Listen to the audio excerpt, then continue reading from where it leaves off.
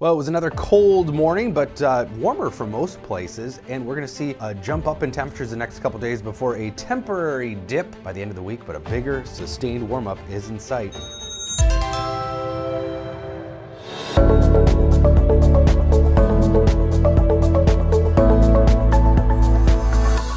So it was another frigid start to the day. Wind chills uh, were in the teens, 20s, and 30s below zero, but not as bad as yesterday.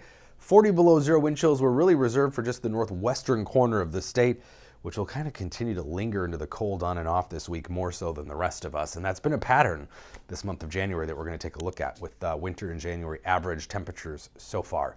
Uh, 20s below zero, 32 below zero was one of the cold spots at Cotton, Minnesota, but there were a lot more 30s below zero yesterday. So already some progress. We are again down to eight below in the Twin Cities. We just can't seem to get past that. But the cold and calm has allowed for some ice to develop. Look at uh, yesterday versus five days ago. St. Louis Bay has some ice in it now compared to really nothing uh, just five days ago. It takes that real cold to uh, get the ice to form on a lake as big as Superior.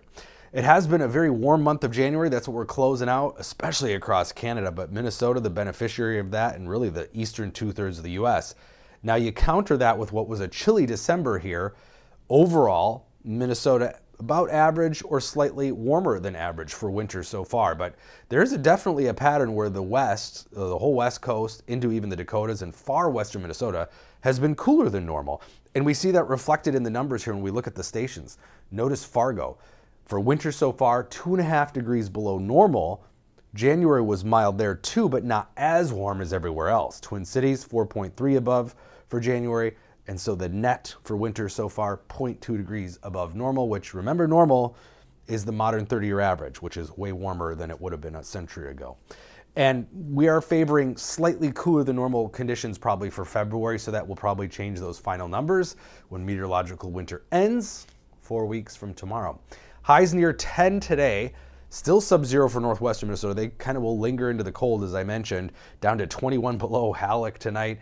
Uh, around zero, one below in the Twin Cities. So chilly definitely still, but not as cold as the last few mornings.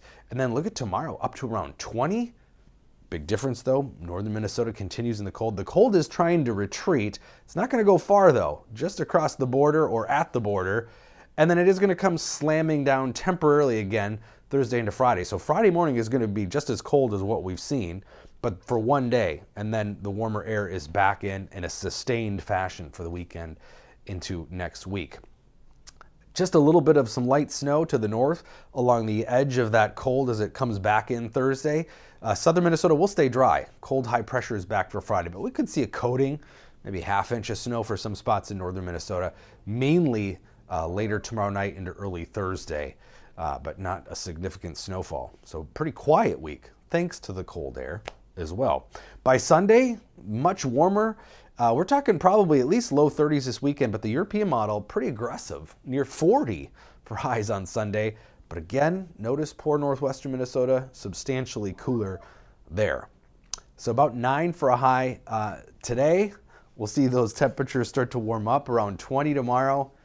A temporary drop Friday, again, but pretty cold, nine below. Could be even colder than the last couple mornings. But look at how we shoot up for the weekend. And those 30s look to stick around, 20s and 30s, normal or above normal temperatures into next week.